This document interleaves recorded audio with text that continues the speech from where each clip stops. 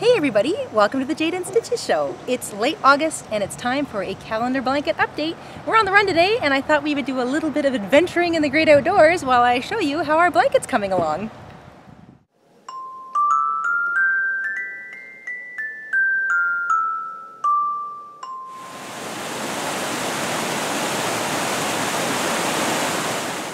So that's everything up to August the 22nd. So we're late August and just a reminder, I always take the 10 a.m. temperature and I'm not allowing for things like humidity.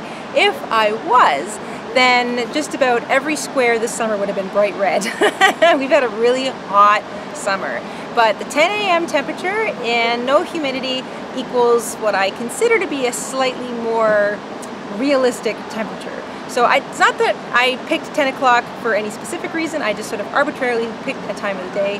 10 o'clock was what it was, and I've gone with that time every day so far.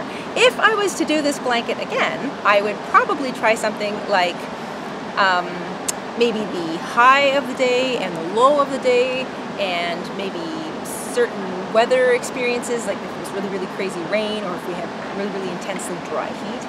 I think I like the idea of the low high too. But so far, I really like where this blanket is going and I'm very interested to see what the fall is going to bring. So I thought I would answer another quick question that I get a lot about blocking. Um, a lot of people ask, you know, do you block your squares before you join them or do you join them and then block the entire blanket? It's sort of up to you and it depends on what's going on with your squares. So for example, here I'm doing a join as you go method. So I half make the square and then I finish the square as I join it as I go. So I'm definitely not going to be blocking anything. Um, but if you've made up a whole bunch of squares and some of them are like a bit tight and some of them are a little more loose and you're worried about how they're going to look or if you're going to have trouble putting them together, this isn't a sort of a situation where you can openly block your squares before you put them together. So if you need to loosen up some of the tighter ones, just steam them, block them a bit, pin them down, let them dry, and that, that should loosen them up and make them a little bit bigger so that you can sew them all together with a little bit more ease. Having said that, if all of your squares line up nice and neat and they're all roughly the same size, don't bother blocking until you've got the whole thing stitched together and bordered.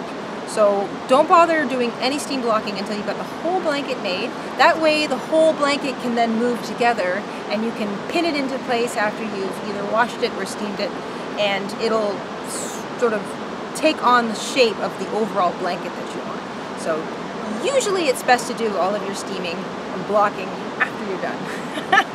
but, like I say, if you do have the odd wonky square, you can steam those before you attach them. And that's it for this week, everybody. Thanks so much for dropping by and spending some time with us. I hope you like this calendar blanket update. We'll do another one in a couple of months. Until then, stay safe, stay crafty, and we'll see you next week. Bye, everybody.